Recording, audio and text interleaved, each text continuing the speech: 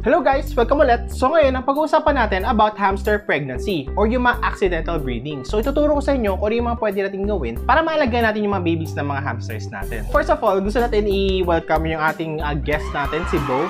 So, so, sasamahan tayo ni Bo ngayon para hindi naman masyado boring. Safe naman siya, hindi naman siya tatalon dyan. And marami tayong toys na provide sa kanya. So first of all, itong breeding na to, hindi ito para makapag-encourage ng breeding sa mga newbies. Kasi ang breeding po requires knowledge, resources, time, and dapat responsible tayo na makapag-breed ng mga hamsters. Isang malaking bagay po yan na ginagawa, na hindi dapat ginagawa ng mga newbies. So as a newbie, kailangan mag-focus mo tayo sa proper hamster keeping bago tayo mag-breed. So, kumbaga, ang proper hamster keeping po, level 1 po yan. Ang breeding po, nasa level 2. Kung mag-breed ka, dapat may mga idea ka na about sa proper hamster keeping.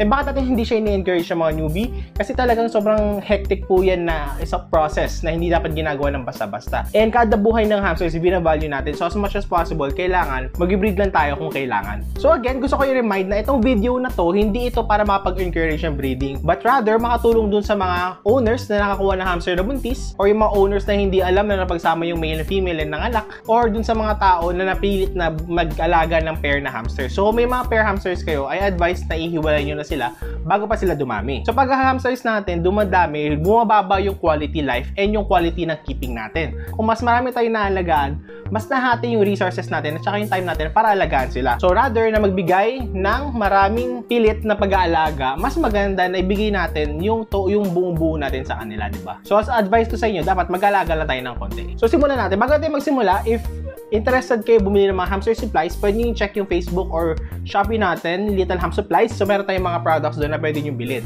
And mamaya, meron tayong ipapakita na code na pwede nyo magamit para makakuha kayo ng discount sa ating shop. Alright? So, simulan natin. So, discuss muna natin yung mga terms.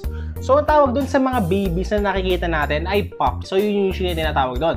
Yung mga kulay pink naman, ang tinatawag natin doon, yung mga tipong 1 to 4 days old, yun yung tinatawag na pinkish or mga gummy bears. And litter naman yung term na tinatawag kapag may anak yung isang isang hamster na isa-isang set. So yun tinatawag doon is isang litter. Then calling naman yung term na kung saan pinapatay ng mom, mommy hamster yung mga babies nila. And then may reason yun kung bakit nila ginagawa. I-explain natin mamaya. So una-una, discuss natin yung mga signs ng isang pregnant na hamster.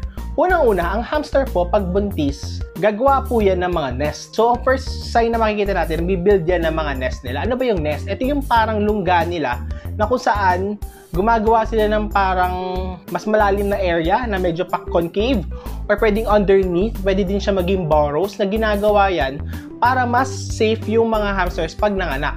Or in a sense, yung mga hamsters na mapapadede nila na maayos at mabibigyan niya ng heat or yung body heat.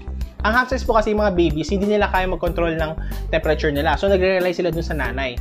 So, since wala silang fur, mas mabilis sila lamigin, and then yung heat dun sa nanay, yung magiging heat na, ma- na magpapasustain sa kanila. Next naman, makikita natin, magkakaroon sila ng parang pear-shaped na body. So, pag dinig natin sa taas, makikita natin na parang medyo pabilog na yung likod nila. Okay? So, yun yung tinatawag nating pair. Ang sign nun kasi marami na babies yun sa loob. Kaya nagmumukhang mahugis na pair. Huwag mo kagating yan. Yung next naman natin is makikita natin, pag hinawakan natin yung hamsters natin ng ganito, mapapansin natin dito sa ilalim, meron siyang mga nipples. So yung mga nipples na yan, magiging sobrang obvious yan, lalo na pag mga anak ni hamsters natin. Pag pregnant naman yung hamsters, mapapansin nyo na mas obvious yung nipples nila dun sa ilalim niyan. So isa yun sa sign na possible na buntis yung hamsters natin. Next naman is kapag nagbago yung behavior ng female hamsters natin, kung mas naging aggressive sila. So isa din yun sign na possible na buntis sila. And lastly, dapat yung pinaka natin i-check if meron ba sila naging close contact or nakasama na opposite gender na possible na nakapag-breed sa kanila. Ang hamsters po, pwede po silang mag-breed up as early as, pwede sila maging sexual mature as early as 1 month old or 5 weeks old. So, by then, pag ganun na yung age nila, possible na sila mabuntis. So, as much as possible, kaya hindi, hindi natin sila pinagsasama. So, if ever yung hamster nyo ay may nakasamang ibang hamster na mas matanda or 1 month old na pataas, possible na mabuntis yung hamsters natin. Kaya dapat hindi natin sila pinagsasama. Then, yung next naman natin is yung food hoarding. Ang hamsters po, naturally nag-hoard sila. Pero sa mga pregnant hamsters, mas marami silang hino-hoard na pagkain. Bakit? Para mas masustain sila throughout yung pregnancy nila. Since ang mga hamsters po, pag nabubuntis, kailangan nilang enough nutrients para ma bigay dun sa mga babies nila or dun sa pagpapagatas dun sa mga babies nila. Kaya maganda na dapat nagbibigay tayo ng mas maraming pagkain para masustain siya throughout doon sa pregnancy time niya. So discuss naman natin gaano ba katagal dapat nabubuntis ang hamster. Sa Syrian hamster tulad nito si Bo, ang Syrian hamsters usually 16 to 18 days sila uh, nabubuntis and after yung mga anak nila sila. Sa mga dwarf hamsters naman, possible na 18 to 21 days naman sa kanila. So mas mahaba yung sa dwarf hamsters, 'di ba? Anong next natin na gagawin kapag mga anak ni hamsters natin? Isa sa mga sign ng mga anak na yan is pag sobrang laki nga yung katawan nila. So yung pear-shaped body and then yung nipples nila sobrang laki na. So dapat before silang mga anak, ano yung mga unang-una natin dapat na ginagawa? Once na nakita natin na positive na pregnant yung hamsters natin, dapat palitan na natin yung beddings nila or linisin na natin yung beddings nila. Bakit? Kasi once na nanganak sila, hindi na natin sila malilinis kasi possible na silang ma-stress pag nilinis natin. So dapat ma-make sure natin na makapag-provide na tayo ng enough beddings. Pwede natin laliman yung beddings natin. Pwede natin bigyan ng tissue para makapag-provide siya ng nest nila. And then linisin na natin ng pakonti-konti. Okay? Kasi once na nanganak hindi natin sila pwede linisin. Ano yung mga pwede natin ibigay na pagkain sa kanila habang nabubuntis sila? Pwede tayo magbigay ng mga pagkain na mataas sa protein. For example, egg white, chicken breast, or mga malunggay, or mga greeny food. Pag binibigyan natin sila ng mga ganitong pagkain, mas makakapag-produce sila ng gatas para dun sa mga babies nila and mas less likely na kainin nila yung babies nila. At yun yung tinatawag na culling. And then isa pa, bago sila manganak, dapat ma-make sure natin na tanggalin na natin yung mga toys na possible na makaharm sa kanila. Ang usually lang na iniiwan natin sa cage is food dish, mga hides, uh, water bottle, at saka food dish. So yung mga wheels, yung mga tunnels, kailangan natin sila tanggalin para hindi siya makasama dun sa mga baby hamsters. Yung mga sand, kailangan din tanggalin. Yung mga cat litter, kailangan din natin tanggalin yan para hindi maka-apekto yun sa mga baby hamsters natin. So ito na, nanganak ni hamsters natin. Ano yung mga dapat nating hindi ginagawa pag nanganak na sila. So una-una, dapat wag nating hawakan yung mga hamsters natin. Bakit? Once na hinawakan natin sila, possible na ma-stress yung nanay. Pangalawa, pag hinahawakan natin sila, yung scent ng kamay natin dumidikit dun sa baby hamsters na possible na i-call ng nanay niya. Kasi once na naamoy nila yung baby nila na iba na amoy, pwede nilang i-call or patayin. Next, dapat hindi natin dinidisturb yung nanay. So hayaan lang natin yung nanay na alagaan yung mga babies nila. Ang pwede lang natin gawin is pag nanganak na, pwede lang natin silang bigyan ng pagkain and make sure na may pagkain sila may tubig sila. Oh. So ano ba yung mga reasons kung bakit kinakain ng mga mommy hamsters yung mga anak nila o yung tinatawag nating calling? Yan yung madalas natin nakikita. Pag nakakarinig tayo ng hamsters, ang unang inisip natin, ay yung hamster, di ba kumakain ng mga anak yan? Of course, yun ang tinatawag nating calling. Bakit ba kinakall nung nanay yung mga babies nila? Maraming reasons yan. Unang-una, possible na yung mother hamster natin, hindi pa siya mature enough para makapag-anak. So usually, yung mga pumapasok sa breeding, nabibreed na nila yung hamsters nila as early as 1 month. Kumbaga, kung titignan natin, para na siyang teenage pregnancy. So since hindi pa ganun ka-mature yung nanay, possible na i-abandon niya yung mga anak nila. Pangalawa, physically, hindi pa ready yung hamster o yung nanay na hamster. So anong nangyayari? Kapag nanganganak sila, hindi ready yung body nila, hindi masuffice yung nutrients na kailangan na ibigay dun sa mga babies. Kaya nangyayari, nangihina yung mga babies. Or may may ibang reasons na may mga genetic problems, yung nanay na kapag nanganak sila, possible na sumama dun sa babies. Kaya nila pinapatay. In a way, kinakain nila yung mga weakest link dun sa babies nila. Either kasi mahina na sila or may problema yung mga babies, kaya nila kinakain. Pangalawa, since mahina yung katawan ng nanay, hindi niya makapag-produce ng enough na gatas para painumin yung mga anak nila. Ang nangyayari is, kinukuha niya yung pinakamahina dun sa litter niya and then kinakain niya. In a way, yun yung nagiging source ng protein niya para mapainom niya yung mga ibang babies. Kumbaga, in order para mabuhay yung mga healthy babies, kailangan niya i-sacrifice yung pinakamahinang baby. And yun yung kinakain nila. Next naman, yun nga, yung tulad ng sinabi ko, once na, na naamoy nila na hindi na nila baby, possible nila i-abandon yun. Yung isa naman, pag sobrang stress yung nanay and hindi pa siya ready maging nanay, kinakain nila yung babies niya kasi hindi niya alam po ano yun. And hindi pa siya ready para maging nanay. So, ano ba yung ma- ma- makukuha nating lesson dito? Once na nanganak yung hamster natin, ang mga external factors na pwede natin gawin is yung pagbibigay ng pagkain. Yun lang yung makakontrol natin para tumaas yung survivability ng mga babies. And then, from that point, hayaan na natin yung nanay na hamster na alagaan yung mga babies niya. Kung may papatayin siya, tayong magagawa kasi yun talaga yung gusto niya na gawin. Wala tayong makakontrol doon. So actually, may mga nakita ko before na ginagawa, kinakain na yung nanay yung mga babies and then tinang hiniwalay yung nanay dun sa babies. Sobrang mali nun kasi yung nanay, alam niya kung ano yung ginagawa niya. Mas may alam pa sila kaysa sa atin. Siyempre, hindi naman tayo hamster. So, hindi natin alam kung may problema ba yung hamster natin or may problema ba tayo, di ba? So, hayaan lang natin yung mga nanay na alagaan yung mga babies nila and wag tayo mag-interfere. Mommy hamster knows best and dapat hindi tayo nag-intervene kung ano man yung diskarte ng mga nanay. Alright? So, yon. So, mapansin natin, through time, lumalaki na rin yung mga babies natin.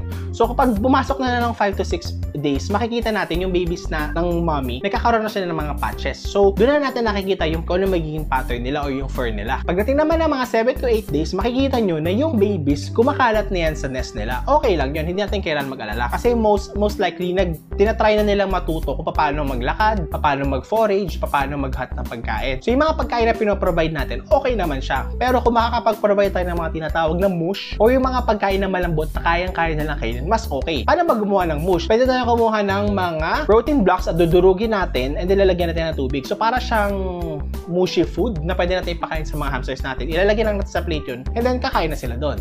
And yung iba naman, actually may mga ibang hamsters naman na nakakakain na rin ng mga gulay. I-provide lang natin yung mga malunggay at ibang protein source na pagkain and then kaya nilang kainin yun. Yung egg whites din, actually kaya din nilang kainin yun. And then from time, matututo na rin silang kainin yung mga seeds na kumakalat sa mga nest. Yung sa mga nagtatanong, paano yung mga babies na bigla na lang napupunta sa isang sulok, di ba? Ang ano dyan is again, babalik tayo doon na mother knows best. So wag natin, wag tayo mag-intervene. Possible na lumayo lang yung baby and then eventually kukunin pa rin niya ng nanay. Ibabalik pa rin niya sa nest kung kailangan na niya pakainin. Doon sa mga nagtatanong, kailangan ba na maliit yung cage natin? Actually, no. Ang hamsters po, kahit nanganak sila, pwede din tayo mag-provide ng malaking cage. Bakit? Sa malaking cage niya, may isang area lang yan na doon ilalagay mga babies kung saan yung nesting. So, palagi, ang, gagawin, ang instinct ng nanay is laging dalhin yung mga babies doon sa area na yun para pakainin. So, in case na lumayo man yan, kukunin at kukunin pa rin ng nanay yan. Doon sa mga nagsasabi na dapat maliit yung cage para mas mataas yung survivability ng mga babies para mabuhay. Well, for me, hindi siya talaga nag-work. Kasi kahit anong laki, kahit anong liit ng cage mo, as long as yung nanay mo is responsible enough para buhayin yung mga babies, bubuhayin niya yun. So, regardless yung laki ng size ng cage natin or yung liit ng cage natin. Kasi again, mother knows best. Alam nyo ba, kahit naman na maliliit yung mga cages na ginagamit for mga pregnant hamsters,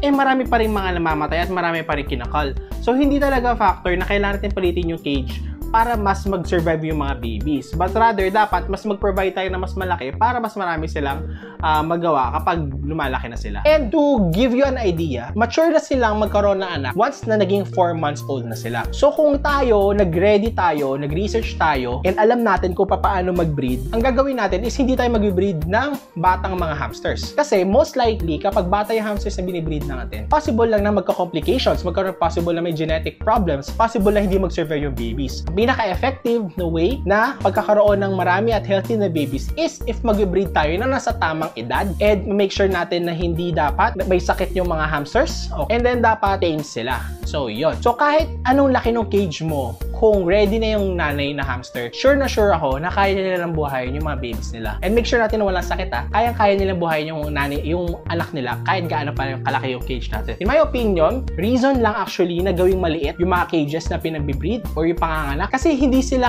hindi sila ganoon ka-confident sa ha, mga binibreed nila. Mas gusto nila na ma-make sure na mas mabubuhay to kaysa mabigay yung malalaking cage. Ano bang benefit ng malalaking cage sa mga nanganganak ng mga hamsters? Una, malaki yung cage nila so pwede silang pumili ng area dyan para mag-nest. And then, second naman, ang mangyayari dyan, once na nag-nest yung nanay, may mga times na mapapagod yung hamsters, yung mother natin, mother hamsters natin. So, ang magagawin ng hamster, lalayo muna siya para magpahinga and then eventually, babalik siya para pa inumin yung mga babies niya ulit. So, yun yung mga advantages niya. At the same time, isa pa advantages nun, pag malaki yung cage natin, is mas matagal siyang bumaho. And then, isa pa, mas maraming area sila maroro pag lumalaki na sila. ba? Diba? So, yun yung mga benefits sa pagkakaroon ng mga malalaking cage. Pag nanganak yung hamsters natin, may mga kilala na rin akong gumagawa niya. Actually, sa international, ganun yung ginagawa nila. 450 square inch yung cage nila, doon sila nanganganak. And then lahat nagsurvive. Kasi, na-consider nila yung maturity and genetics and all. Kaya ganun. So, kung gusto niyo matuto about dun sa ethical breeding, meron tayong video dito. Ina-try ko ilagay dito yung box. Pwede niyo i-click yan para malaman niyo kung ano yung ethical breeding. So, kailan tayo pwede maglinis ng cage? So, after 2 weeks or 3 weeks, pwede na natin mag-start mag-spot clean kung talaga mabaho yung cage nila. Pwede natin silang start linisin, pwede natin tanggalin lahat, and then magre-retain tayo ng old beddings para masanay pa rin sila. Pero sa mga case na gumagamit ng mga malalaking cage, hindi na natin talaga necessarily kailangan palitan yung beddings but rather mag sa spot clean lang tayo and then papalitin rin ng bago. Yun yung advantage ng pagkakaroon ng malaking cage sa mga nanganak na mga hamsters. Ako actually, na-experience ko yan before. Meron akong na-adopt na hamster na buntis and then nilagay siya sa 58 liters and then nanganak siya. For 2 months, yung beddings niya hindi bumaho. Bakit? Kasi malaki yung cage na ginamit ko para dun sa pagpapalaki uh, niya dun sa mga baby babies. At the end, hindi na ako na-hassle na maglinis at hindi ako nabahuan dahil nga malaki yung cage and marami yung beddings nila. So ano gagawin natin kung yung mga baby hamsters ay umabot na ng 1 month? Ang mga hamsters po, sexually matured na sila pag 1 month old. So sa mga Syrian hamsters, kailangan natin sila i-separate pag 1 month na sila by gender. So magkakasama po yung mga male while at the same time magkakasama yung female dun sa female na mom ng mga Syrian hamsters. And then kapag nag 2 to 3 months na sila, dapat separated na sila individually per cage since solitary creature sila. Sa mga dwarf hamsters naman, same din. Pwede silang pagsamahin hanggang 1 month pero dapat pag nag 1 month, i-separate na sila para maiwas breeding at pagsasamahin sila by gender, male and female. And then by then, by, pag pinagsama na sila, since social animals sila, hindi na natin sila necessarily kailangan ihiwalay not unless mag-start sila ng away. Then tsaka lang natin dapat sila i-separate per cage. Nonetheless, yun lang po yung about yung sa video natin. If gusto niyo pang matuto nung mas detailed nung pag-aalaga ng baby hamsters, meron tayo actually na ipapakita dito sa description. Doon ko lalagay yung link sa philippinehamsterkeepers.com. Nandun lahat ng details and kung paano talaga mag-alaga ng baby. So, ito yung video type lang itong ginagawa natin. So, yon So, if may interested din kayo makahanap ng mga ibang resources about proper hamster keeping, pwede nyo din i-check yung aming website, philippinehamsterkeepers.com. Pwede nyo i-check sa link sa baba. Also, kung mayroon kayong mga hamsters na accidental breeding and naghahanap kayo ng gustong pag-rehoman ng mga hamsters na yan, meron tayong adoption center na tinatawag na ang pangalan ay Hamdoption PH. So, kung gusto niyo mag-rehome ng mga hamsters nyo, pwede nyo silang i-message or pwede nyo kaming i-message para i-take in namin yung hamsters nyo and makapaghanap ng mga responsible owners na pwede mag-alaga sa kanila. So, mapapansin nyo dito sa right side natin, dito yung mga for adoption natin. So, yun. So, sana nag-enjoy kayo dito sa video natin and nag-enjoy kayo kahit sobrang kulit niya. And then, if you like this video, please hit the like button and don't forget to subscribe. Hit the notification bell naman kung gusto niyo ma-notify kayo sa mga next videos natin. Again, maraming salamat